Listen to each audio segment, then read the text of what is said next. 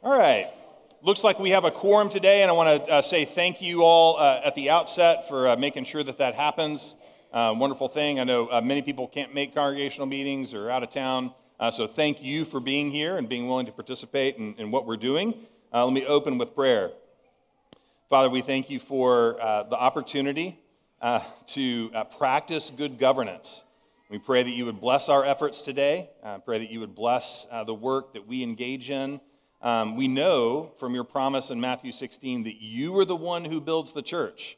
And so we ask that you would take our humble efforts today, um, pondering our budget, pondering leadership and service, pondering our mission together. You would take what we do, you would use it to build up your church. We would be holy and healthy and on mission for you. We ask in Jesus' name. And all God's people said, Amen. It's a participatory service, so we uh, meeting, so we got to do that. All right, the purpose of this meeting is announced uh, uh, more than 30 days prior, uh, according to our Constitution, uh, is uh, to elect officers and to hear a budget report. We'll also say a few things about where we are as a church and communicate with you all about that. Um, we need, at the outset, to elect a moderator. Do I hear any nominations? Okay, do I hear a second? Okay. Any discussion? Any other suggestions? I'm happy to pass this along. Uh, well, all right. All in favor? Aye. All right. We'll do it that way. Do I hear a motion to elect Chris Powell the clerk of this meeting? The clerk is responsible for uh, being responsible. I think that's like a good. Okay. So moved. And hear a second? Okay. Any discussion or counter proposals? Okay. All in favor of Chris serving as clerk? Aye that means that the records will get to Presbytery and will be reported back to the session. We're very grateful for that. Thank you, Chris. Uh, Mr. Clerk, do we have a quorum present? Okay. Just so grateful for people who can count. Um, so, this is the purpose of the meeting. We're going to uh, pr- uh, proceed to elect officers. Are you now ready to, to proceed to the election of additional ruling elders and deacons from the slate presented? Are you by acclamation? Okay. All right, so you should be familiar with this. We released the names and uh, some information uh, about these deacon and elder nominees. Uh, just to remind you of the process, they were nominated by the congregation. You can submit names, uh, went through a process of, of screening and, and training, um, working with, uh, with them, talking to their spouses as well, just trying to figure out if this is like a good fit during the season. Um, and then the slate was presented 30 days in advance. You've had the opportunity to talk to them or uh, weigh in otherwise. Um, so uh, the vote will be conducted by secret ballot. We need the deacons to go ahead and come forward and, and pass those out. And while we're doing this, we don't normally make a big deal of uh, men who are rolling off the session or um, uh, rolling off of the diaconate. I don't, I don't remember that being part of meetings previously, but then we've never had a, a three year period where Don and Garth served where we changed senior pastors and went through COVID. Uh, and so um, if you happen to see Don and Garth, please express your gratitude. Who's rolling off the session? I mean, who's rolling off the diaconate? Matt Hahn, you want to raise your hand? Okay. Never before have we had deacons doing things like cleaning the pews off with antibiotic, whatever, uh, uh, between between meetings and uh, wearing masks and all kinds of other such things. So, uh, really grateful for Matt and others who've served in that capacity. Uh, we do secret ballot. Uh, you're welcome to vote for or against. You're also welcome to write in names. That's I don't know how much space we have for that, but you can take advantage of whatever is there. We'll give you the chance to make sure you have something to write with. As a reminder, you have to be a, a, a, member of North Shore Fellowship. A communing member means old enough to have uh, been admitted to the Lord's table. Uh, you can have that vote and that privilege of weighing in on, on, on who leads here. All right. We'll give you a few moments to go through that ballot, make the necessary notes. We'll have the deacons take those back up here momentarily.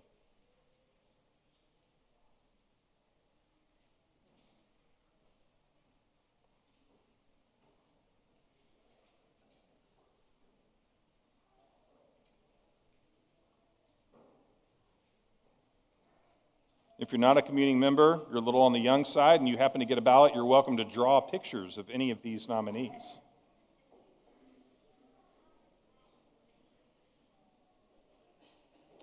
All right. I'm going to pass these back in.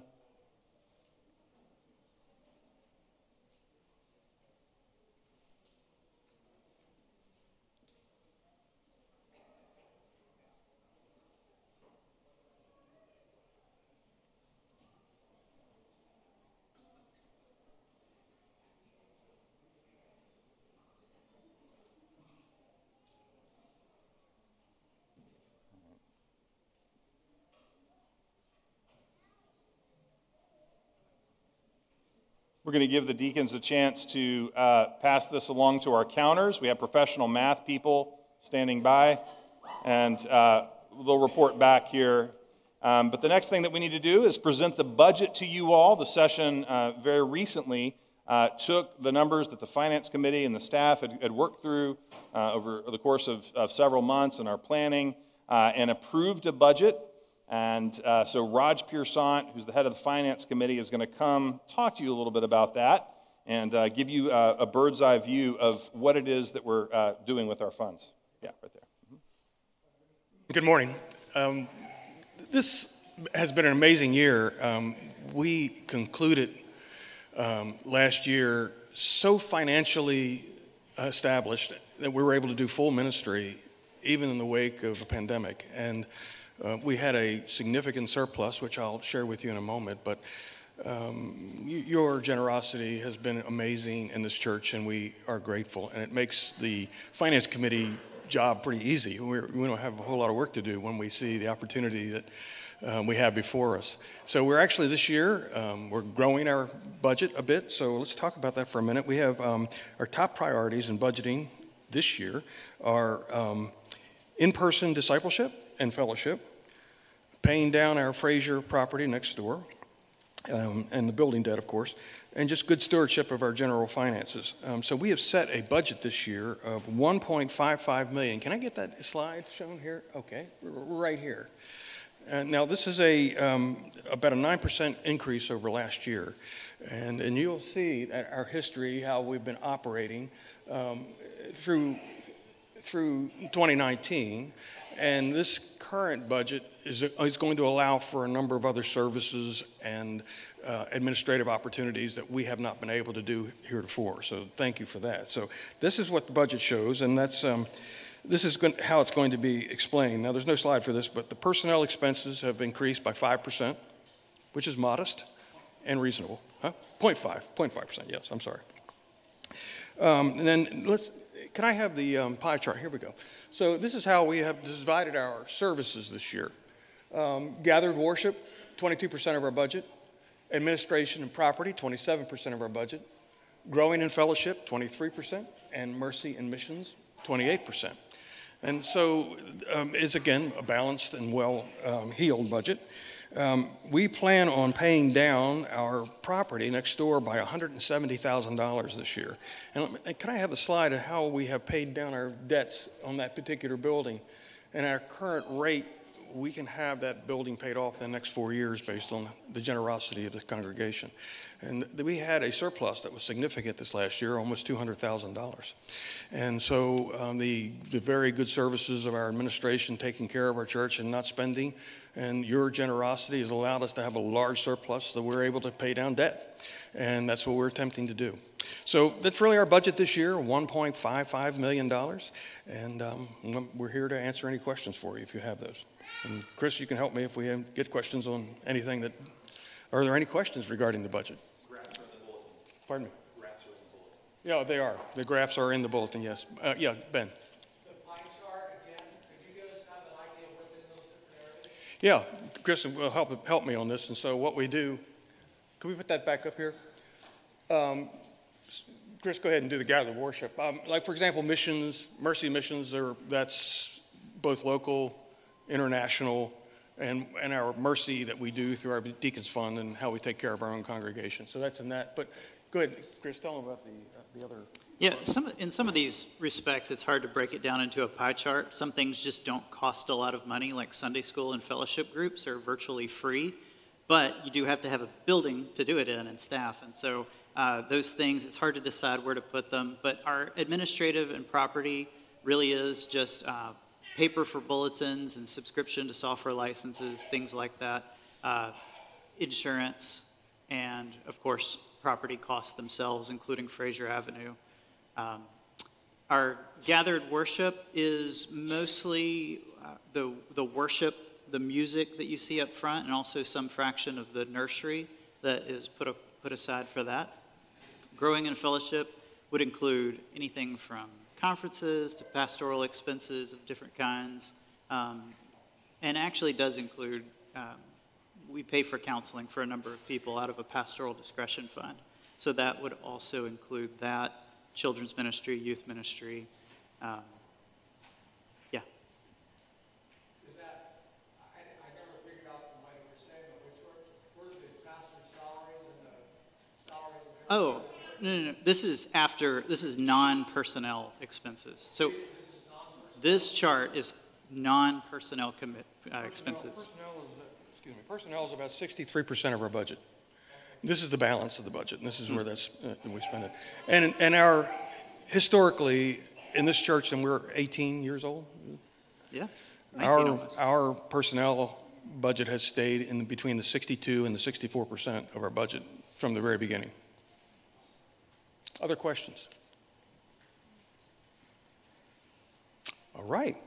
Well, thank you. We, your, your finance committee thanks you for your generosity. Keep making it easy for us, and if you, if you really do want to help pay down the debt quicker over here, we give all types of opportunity for that. So please help us there. Thank you. And your pastor is grateful for you as well. Uh, certainly something that, I, that we thank the Lord for, just the, the stewardship that's going on here, and uh, do pray that that will continue so we can continue to do good things.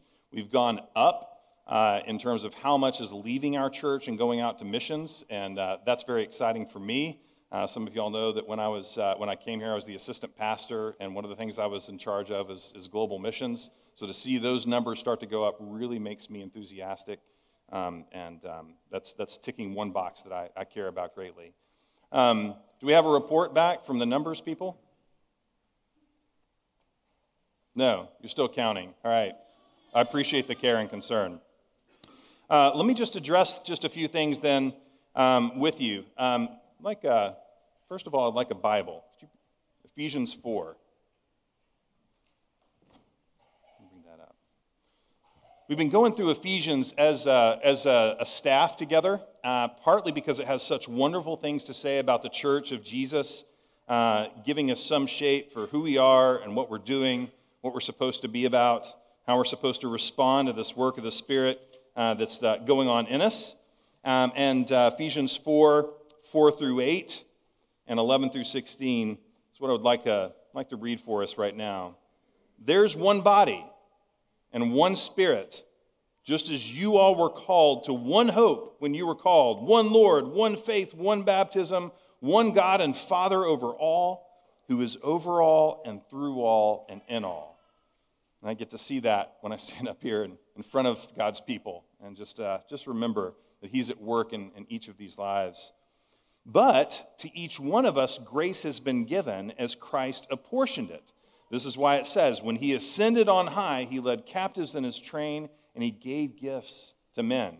So, just as there's one Lord, one faith, one baptism, there's also just all kinds of gifts that are going on. And I also get the privilege of seeing that, not just up here and knowing what you all represent individually, uh, the, the important work that you do uh, in serving the Lord uh, throughout your relationships and your vocations, uh, your life with your neighbors, and, and all the rest.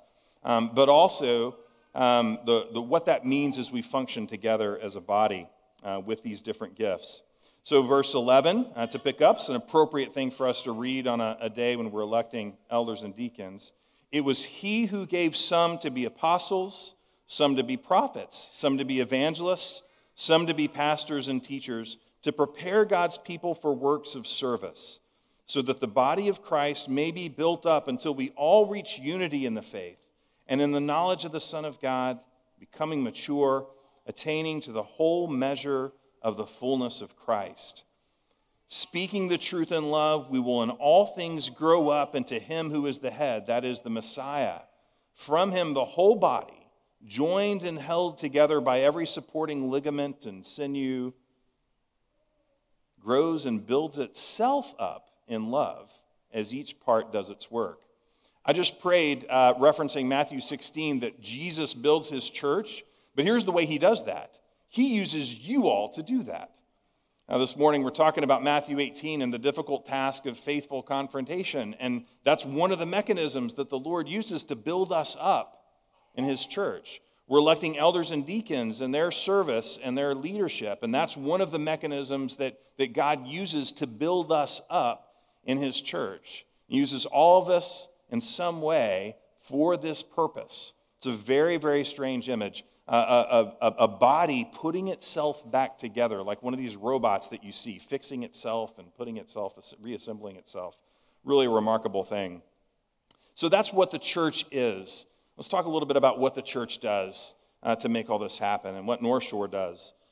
My brother in law is a car guy, and he's been working on uh, assembling a car. I, I, no longer think he's really working on that. I, there's something else going on because he's been working on it for 10 years. And I, so I go out to the garage and I grab a beverage and I'm looking at what he does, and he pops open the hood. And, uh, you know, and I'm, I know some of the parts of a car, uh, and so I have some idea of like what's supposed to be going. Is that a carburetor there? You know, probably not, but I can at least try to make conversation. Um, and, um, you know, he'll show me what he's working on, and, and, and uh, we get to kind of participate in that. And it's appropriate for us here to open up the hood a little bit. That's a pun. Y'all can just enjoy that. Um, and share about NSF. Because for some of you, the, the, the, the, structure of things at North Shore Fellowship and in Presbyterianism in general is just as foreign uh, as cars are to me. Um, so deacons serve, elders or shepherds. And uh, what we're doing today is, is, is, ensuring that that structure is sustained. Uh, we give people breaks. We don't want to burn people out, uh, making sure that people are on task with that. Um, and that we have what we need to, to lead us and to serve uh, in our community. Um, I could tell you all kinds of things I've heard just this week about what deacons are doing uh, taking care of uh, a widow, um, uh, meeting some needs, and what elders do uh, difficult conversations, uh, pondering leadership, voting on the budget, looking through all the numbers. Um, the session also recently passed motions creating some committees. We are 18 years old now. We don't, you know, our church, North Shore doesn't buy cigarettes, but we could. We're old enough now to do that.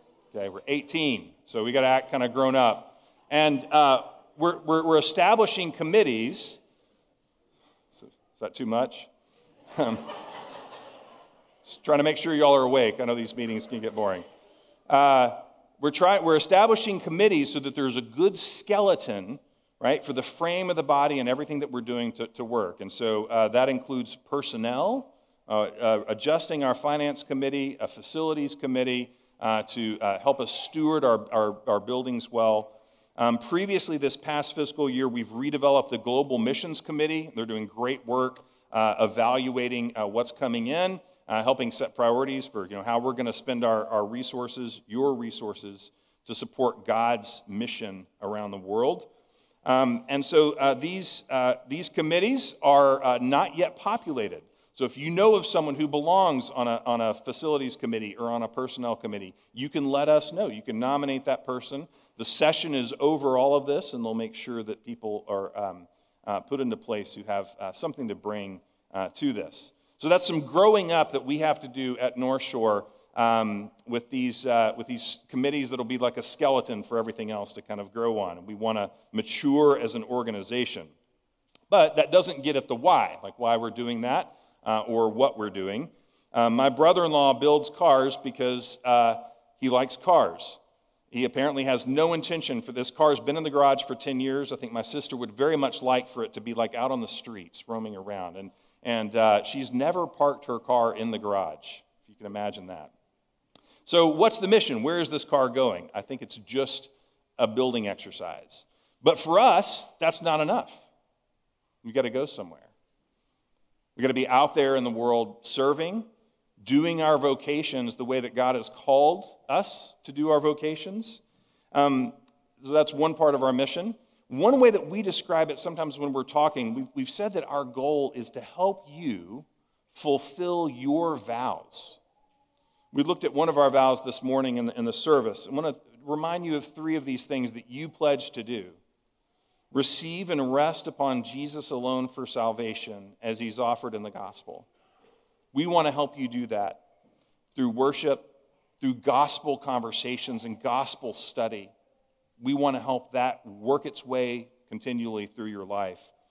The next one, in humble reliance upon the grace of the Holy Spirit, we want you to endeavor to live as becomes the followers of Christ, to study uh, the, the ethical call uh, to live with justice and mercy in your world, and to figure out what that means with, with, in your neighborhood and in your city and in your community, to figure out how to run your business in a godly way. There, there are men and women who have done that for us to learn from.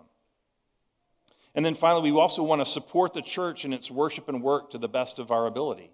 And many of you do this in so many ways as well. We want to facilitate that. We don't want to do all the work, we have plenty to do.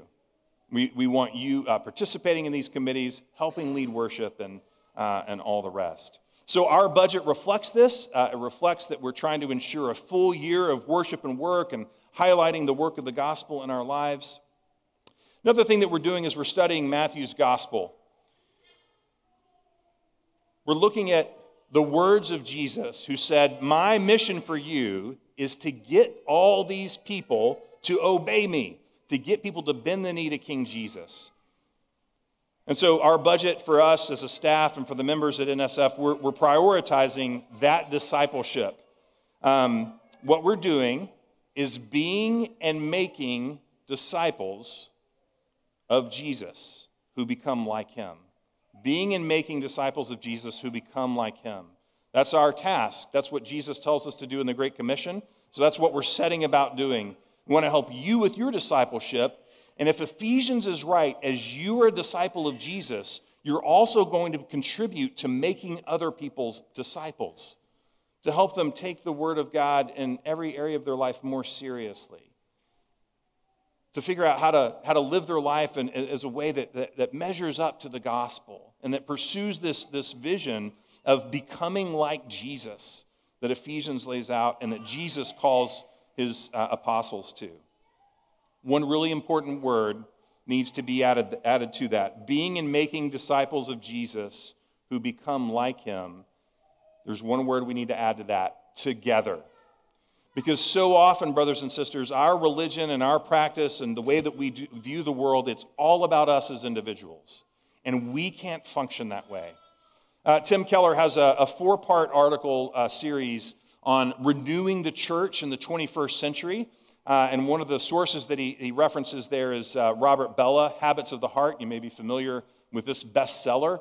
Uh, and what Bellah says is that our era that we live in is the most individualistic in human history. It's the most oriented towards just me, myself, and I, and what I think and what I want to do. No culture more than American culture elevates the interests of the individual over those of family, community, and nation. No culture more than the U.S. culture attributes one's character, identity, and life conditions uh, strictly to individual decisions and choices. There's all kinds of implications of this individualism, but we need together we need community. Because, as we saw in our sermon this morning, you can't function alone. You have to be in community, you have to have other people providing inputs for you. And that's why there's a diversity of missions, as Paul says in Ephesians 4, we just looked at. That's why there's so many different gifts represented in this body. Um, so, for discipleship this year, for you, it may be connecting with a fellowship group liz at nsfellowship.org. It may be connecting with, uh, with women or, or with women and men who get together for a Bible study. You can contact Liz or Heather at NS Fellowship, uh, uh, Dave or Heather, Dave Masoner, Heather Dirksey. Um, uh, we're all first name at nsfellowship.org. Um, some of you I know are just hanging on by the skin of your teeth. And uh, it's all you can do to make it to Sunday worship. And I know I'm, I'm preaching very much to the choir here. Um, but gather, support, and encourage others. I talked to one young family, and it's all they can do just to get together with a couple of other uh, couples who have young kids and try to encourage one another. That is being the church, and that's a beautiful thing. But there's also opportunities. Come to Sunday worship. Come to Sunday school, uh, 8:30 or uh, 9:45. Uh, we're changing up the schedule. We think that may help more people participate. Um, we want to see you uh, coming and studying and becoming disciples, becoming like Jesus together. I'm so insistent on that because I've seen so much fruit already in this body. I want to tell you about Thursday, just Thursday. Here's what I got to experience on Thursday. I got to hear someone say, I love the worship because it's, it's well done, but it's not over the top entertainment, and it brings me into the presence with Jesus. I got to hear someone say that they were blessed by the intergenerational opportunities presented by VBS. It was a real blessing for them to get to know people who weren't in their age bracket as they came and served. I got to hear about someone who was blessed by a support group. I kid you not, all this happened just on Thursday. What I love about this is that this is not just professional ministry, brothers and sisters. This is not just what uh, Dave and Heather and Chris and Jason and John are doing and Liz is doing. This is, this is stuff that's being uh, woven out uh, through our body. Our support groups are not run by the pastors. Um, our, uh, our, many of our initiatives are not run by the pastors, but they're lay uh, events. Friday night, we had a wonderful, uh, successful men's event. I got to hear last night from someone who really appreciated and enjoyed that opportunity. They described what it meant to them. That was not an initiative that we came up with. That's just something that we're supporting and telling you all about. I could go on and on with stories just from Thursday. There was a drive by report as I walked by Lynn's office. She said, Oh, there's something that's looking really good on the budget. I don't know who's giving what, but I know that it looks really good, and I'm immensely grateful for what you all are doing there. I also heard um, two stories of kindness about the same couple who were here this morning. Now, I'm not going to name them because I don't want to embarrass everybody. But I heard from a single person who had been invited over to dinner at their household.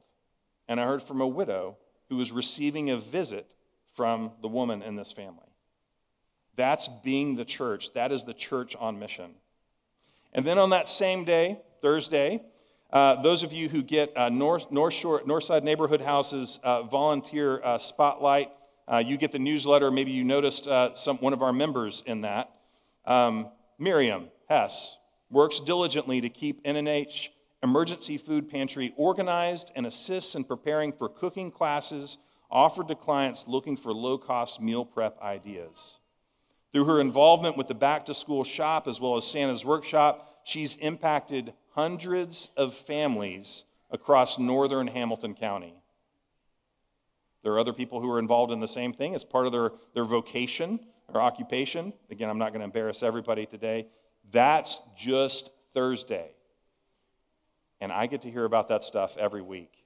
And I'm so proud that it's not just our wonderful staff. I hear all the time people coming to me and saying, Here's what Laney did, and it was so amazing. Here's what Liz did. Here's what Dave Masner means to me. Here's what Heather has done. And I just, I just noticed so much the way that she, uh, uh, uh, you know, the way that she handles herself with the women's stuff. It's just, it's so refreshing. I hear people who've gotten insight from uh, my colleagues or from Liz in a counseling session that's changed the way they look at themselves. But what I love most is that it's not just the people on staff, it's the church out there doing the church stuff, being the church, helping other people become what they're supposed to become.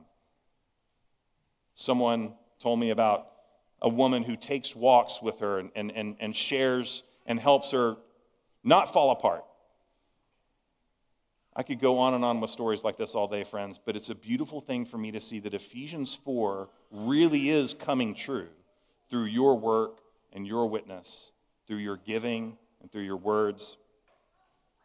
With God's grace, we'll continue to grow in that. We have more to do, just like my brother in law's car. It's not finished. But God does have us out of the garage, and there are good things happening. I hope that you're encouraged by that. How are we doing on the math? All right. So uh, if you'll join me in uh, uh, praying uh, for the elders and deacons and uh, praying also for this mission that God's given us, please join me. By the way, if you didn't hear, Chris said we have an overwhelming majority of yes. That's the official word from the clerk. Um, Holy Father, we're, um, we're grateful for your, your blessing and the bounty that you've bestowed in all the gifts that you've given to your people. And we're humbled at the great mission that you've given us to become disciples and to make other disciples who look like Jesus. And as we strive to do this together, I pray that you would give us every grace to love one another well, to acknowledge the gifts that others possess, and encourage them to be put to work. We pray that you would be kind to us uh, and the failures that we have in this mission. You would help us to attend to that failure, to turn, to repent, to pursue again with zeal the great mission we have to make disciples and to be disciples of Jesus. Will you do this, Lord, so that Jesus' name would be famous, that people who don't know him now would bend the knee to King Jesus, and that this body would truly be built up, knit together into the image of her Savior, in whose name we pray. And all God's people said, Amen. All right, brothers and sisters.